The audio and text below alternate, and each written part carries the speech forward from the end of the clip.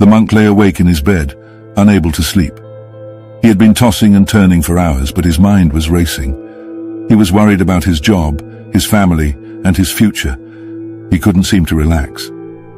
Finally, he got out of bed and went to the window. He looked out at the night sky. The stars were shining brightly, and the moon was full. The monk took a deep breath of the fresh air. As he stood there, he began to feel calm. Realized that he was worrying about things that were out of his control. He couldn't change the past, and he couldn't predict the future. All he could do was focus on the present moment. The monk closed his eyes and took another deep breath. He let go of all his worries and fears. He relaxed his body and mind. He was finally able to sleep peacefully,